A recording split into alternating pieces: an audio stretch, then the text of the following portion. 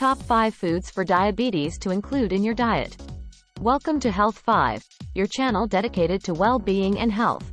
Today, we're addressing a matter of vital importance, diabetes. Whether you have diabetes or know someone who does, this video is crucial. We'll delve into the top 5 foods to include in your diet for effective diabetes management. 1. Avocado. This remarkable fruit is a valuable ally for those with diabetes. It's rich in healthy monounsaturated fats that improve insulin sensitivity. Additionally, avocado is high in fiber, which slows down sugar absorption in the bloodstream and helps maintain stable glucose levels. 2. Quinoa. Quinoa is a gluten-free grain and an excellent source of plant-based proteins, fiber, and minerals like magnesium. Fiber helps control blood sugar spikes, while magnesium is essential for glucose metabolism.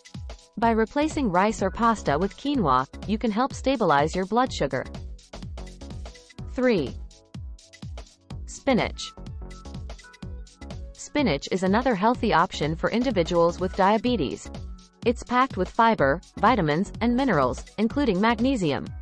Fiber slows down carbohydrate digestion, reducing sudden sugar spikes, and magnesium aids in glucose uptake by cells. 4. Cannellini beans. Cannellini beans are a source of high-quality plant-based proteins and fiber. Fiber helps stabilize blood sugar levels, preventing sudden spikes. Furthermore, plant proteins can help maintain consistent blood sugar levels and provide a lasting feeling of fullness, reducing the temptation for unhealthy snacks. 5. Cinnamon. Cinnamon is a fascinating spice that can contribute to diabetes control. It contains compounds that can improve insulin sensitivity and reduce insulin resistance. You can add a bit of cinnamon to your dishes or coffee to reap its benefits. In summary, when it comes to managing diabetes, making the right food choices is crucial. Avocado, quinoa, spinach, cannellini beans, and cinnamon are all foods that can play a positive role in diabetes management, helping to maintain stable blood sugar levels and improving insulin sensitivity.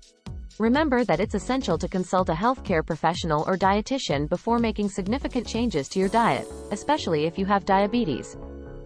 We hope this video has been helpful to you. If you have any questions or suggestions, please feel free to leave a comment below. Don't forget to subscribe to our Health 5 channel for more health and wellness tips. Thank you for joining us today, and continue to take care of your health.